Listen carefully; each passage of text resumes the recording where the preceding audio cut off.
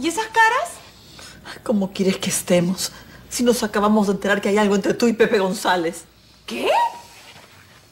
Mamá, ¿cómo se te ocurre? Por favor, yo, con el microbusero, jamás. Pepe se moría de ganas de invitar a salir a la empleada de Miguel Ignacio y yo simplemente lo ayudé. No, no, no, pare, pare, pare. Así que todo esto es para que los dos salieran. Por supuesto. ¿Y desde cuándo te interesa la vida amorosa de Pepe González? Ay, mamá, por favor, si tú sabes que a mí me encanta hacer labor social.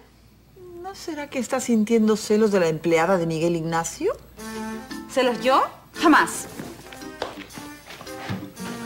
Vaya, felizmente todo esto fue una confusión, Franchiquita, felizmente. Salud, salud, mi amor. Dios mío, pobre Pepe.